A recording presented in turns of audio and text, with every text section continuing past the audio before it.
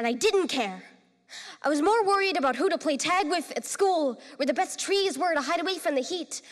When I first felt it, the tug of something called a crush, my body became a stranger to me, a force of nature, leaving me confused and annoyed. Transgender. Whispering in my ear, slowly growing louder and louder until it's impossible to ignore any longer.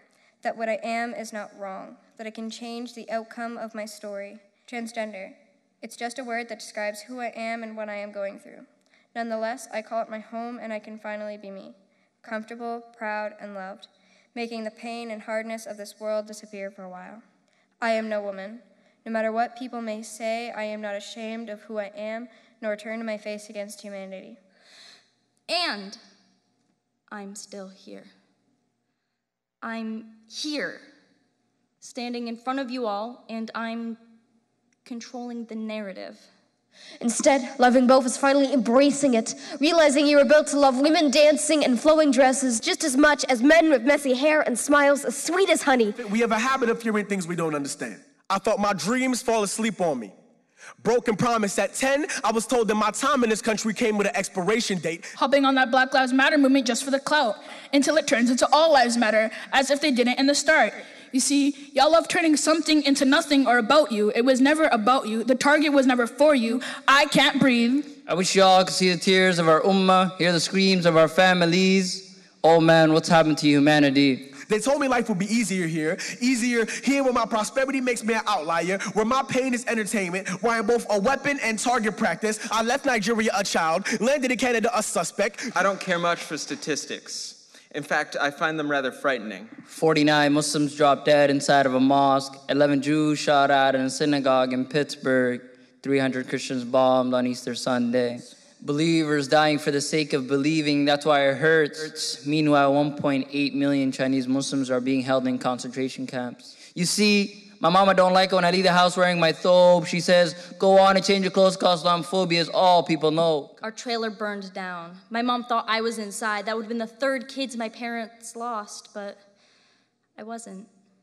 I've been forgotten and left behind, but I'm still here. I've been in the car with a drunk driver, but I'm still here. Because you see, I stay up most every night haunted by stats, stats about the homicides, suicides, and accidents. The numbers encircle my mind, so I watch each step, careful not to step into train tracks and have to watch the oncoming train. 16.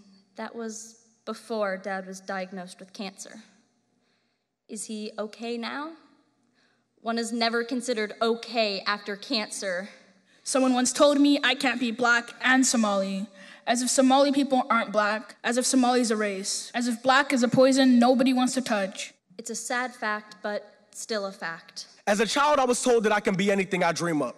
Because the world leaders, the preachers, the athletes, the teachers, they all started out just like me. The world has gone all in on my life and stacked the deck, so I'm lucky to survive. This poetry is self defense. The FBI reports over 1,000 anti LGBTQ hate crimes have occurred every year since 2013 in the US alone. I've been afraid of the numbers ever since. I was too young to know what was going on, but the memories, the crystal clear water of my brain crashing, thrashing, creating tidal waves and tsunamis. I think about it every day. I just want it to go away. I want it all to stop, fix it with just one pop. The answer seems just so clear, yet I'm still here. The first her was unexpected.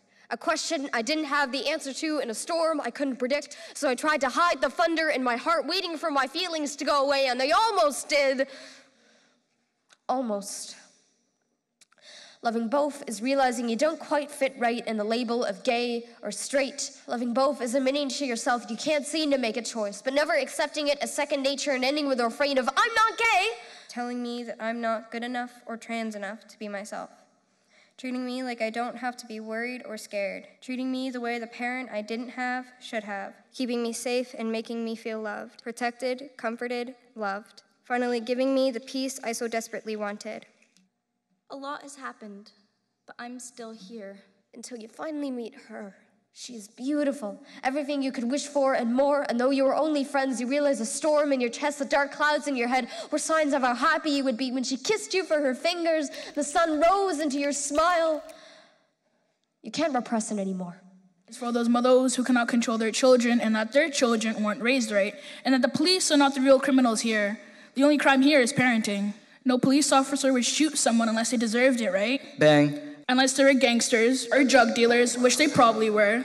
All y'all got hoodies too. Hoods, up, guns down, hands up, don't, shoot. The hopes and dreams of a generation persecuted for existing, then your life is based on broken promises. Verbal commitments, driving persistence, mixing resentment with false hope. So when I have a child, I will not make false promises. They will know that broken people with broken dreams want to break your spirit, break you down into boxes, slap labels on them to contain you, cage you, name you, danger, menace, hopeless, broken promise.